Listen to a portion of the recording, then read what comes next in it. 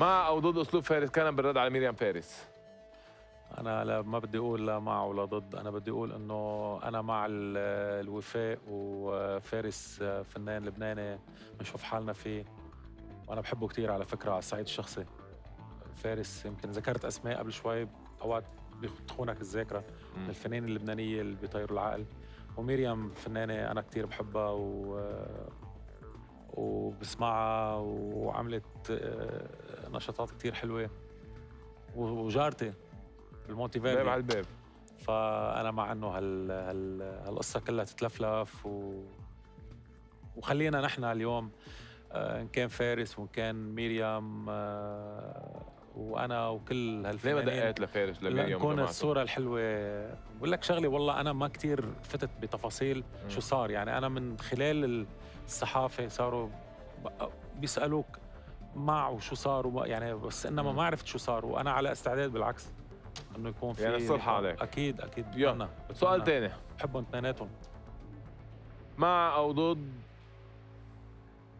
غناء زياد بوجي لأغنية إليسا بعد أسبوع من اصدارها ليك بال بال بال, بال كمان تحية لزياد ولإليسا اللي اللي هن اثنيناتهم أصحابك. واثنيناتهم بحبهم.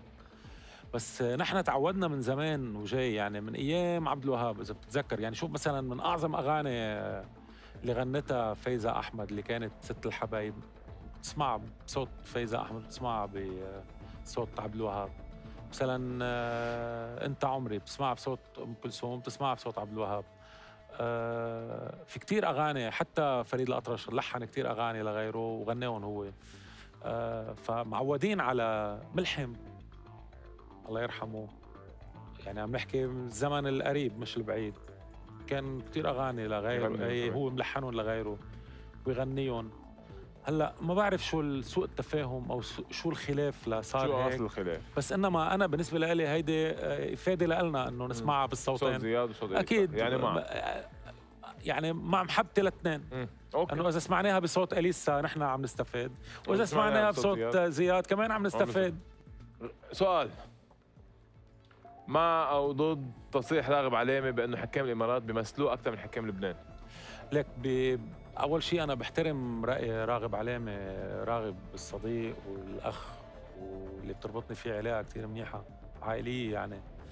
و... وهيدا رأيه أنا بحترم رأيه. هلأ كلنا كلنا لما لما بسياق اللقاء هلأ كنا عم نحكي هالسوداويه اللي شايفينها من خلال أسئلتك بالنسبة للي عم يصير عنا بلبنان بالنسبة للي عم بيصير ببيروت بتقول إنه كلنا لما بنسافر بنشوف مدن عم تزدهر وتتعمر بوقت اللي بتجي على بيروت بتلاقيها مطفية. أحلى بلد بالعالم مطفي و مطفي دمر. ما في كهرباء وما في مازوت. عم تفكر كيف بدك تجيب الدواء لعائلتك عم تفكر كيف بدك تجيب بنزين لسيارتك.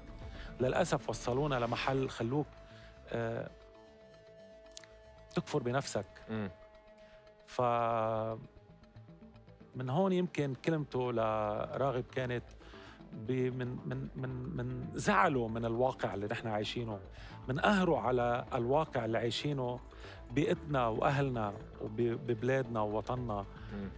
خليه يقول هذا الكلام. ولكن بالنهاية أكيد نحن اليوم أنا زلمة لبناني أنا بيمثلني بلدي ومدينتي أهلي حكامي بيمثلوني. ولكن كمان أتشرف بصدقني بحكام اللي اللي عملوا من الإمارات ومن دبي. من هيدي المنارة جنة. هيدي المنارة أكيد أنا بتشرف فيهم وبقول إنه فعلا يا ريت يكون في عنا ناس عم يفكروا مثل ما هن فكروا بوطنهم وببلدهم بحبوا بهيدي بلدهم الطريقة. طبعا. سؤال أخير. لنا مع أو ضد منع مطربي المهرجانات وتأييدهم انقاذا للذوق العام. ليك أنا مع الرقابة على الفن مم. بشكل عام وهيدي أنا ب... بس مش دايما كان في فن كل شيء؟ يعني مش دايما كان في فن محترم وراقي لا و... بس طول كل عمره بمصر بسوريا الخليج. طبعا خبر ب كنا لما بدنا ننزل أي ألبوم بدك تبعت الكلمات تعطي الكلمات بدك تاخذ تصريح من وزارة ال- ثقافة الثقافة ليفسحوا ليسمحوا لك مم. تنشر. هلأ صار في هيدي الفوضى بال هو سبب الفوضى اللي عايشينها هي وسائل التواصل واليوتيوب. أونلاين 100% اللي شوه ال- الذوق العام. هو قلنا اليوم صرت على اليوتيوب. بتحط أي شيء بدك إياه. هالأغاني.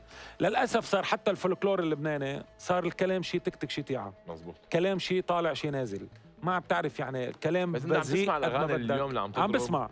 بس هلا والمشكلة وين؟ كله بحط لك فولكلور أو دبكة لبنانية أو يا أخي هذا لأنه فولكلور. ولكن كل عمره الفولكلور غير الكلمات فيه مختلفة وكلنا بنسمع كيف كانوا أغاني الفولكلور. حتى لما عملنا شيء بيشبه الفولكلور لما عملنا صوت الحدا وعلى عين طلق بالطوب البداوي وحل... كان مختلف منه في موضوع.